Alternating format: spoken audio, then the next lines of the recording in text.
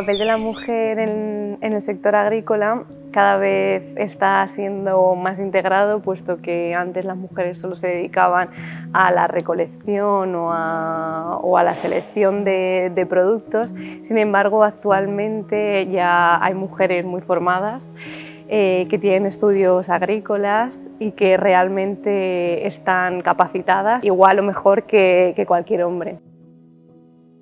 De pequeña veía a las mujeres agricultoras como un sueño a, llegar a ello.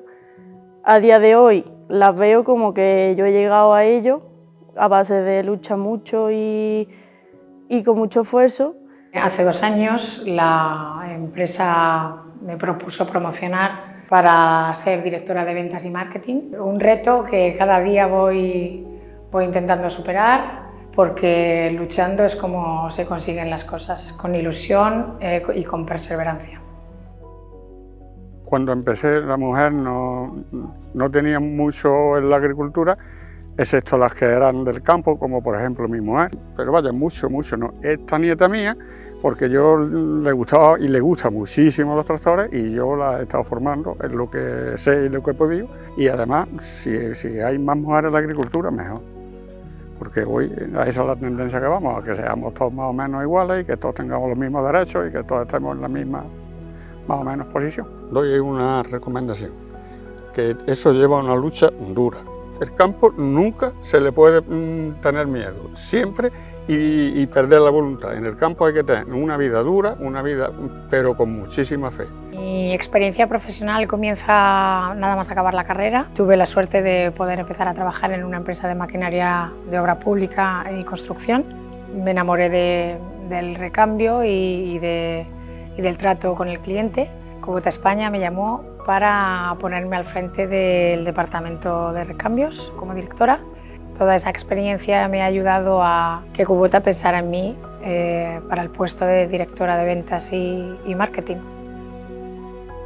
No es fácil llegar a una mujer a determinados puestos universitarios. Yo no he, no he, luchado en plan desafío, he luchado en plan convincente, en demostrar que, que las mujeres tenemos las mismas capacidades. Yo siempre digo que no hay cerebro en rosa y en azul, el cerebro, las neuronas son todas iguales. La agricultura es básica en todo, el mundo, o sea, tenemos que seguir alimentándonos. Y si queremos ser justos con el, eh, sistema de explotaciones agrícolas, tenemos que buscar esa formación en todo, en hombres y en mujeres.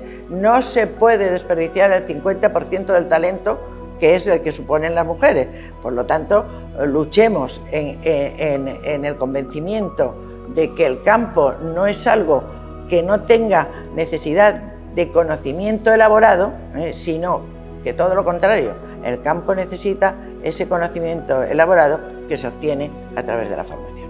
Bueno, mis padres pudieron económicamente dar formación universitaria a mis tres hermanos y a mí, que creo que es fundamental y absolutamente necesario tener una formación universitaria para poder, bueno, lo primero, saber organizarte y saber tener esas bases de, conocimiento y esas bases de estudio para que esa formación pueda seguir desarrollándose a lo largo de toda tu vida profesional. ¿no?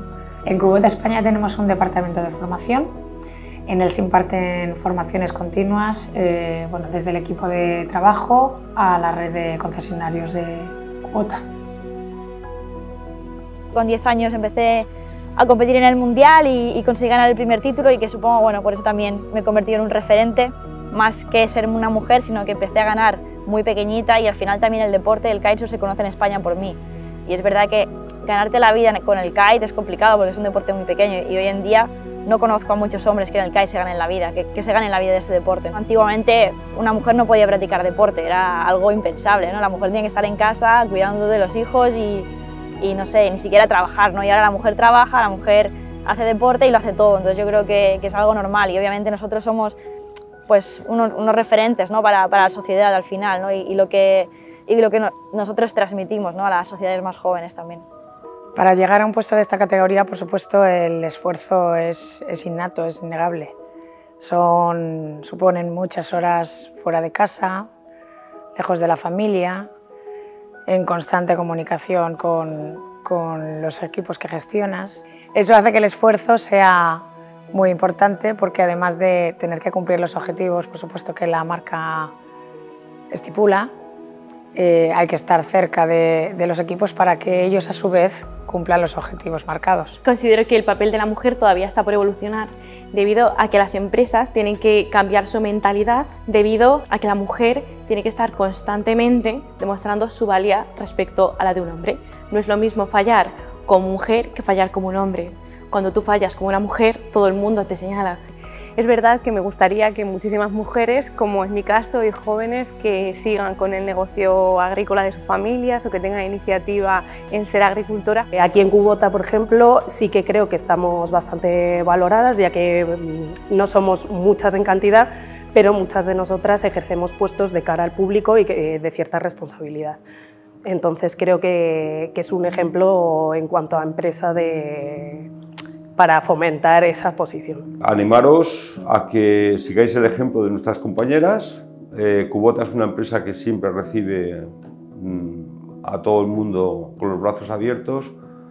No seleccionamos hombres o mujeres porque sean mujeres o porque sean hombres. Seleccionamos el personal en Cubota por sus capacidades y su potencial y desarrollo. Y todo el mundo tiene las mismas oportunidades y ojalá en un futuro podamos disfrutar de más compañeras de trabajo en, en esta empresa.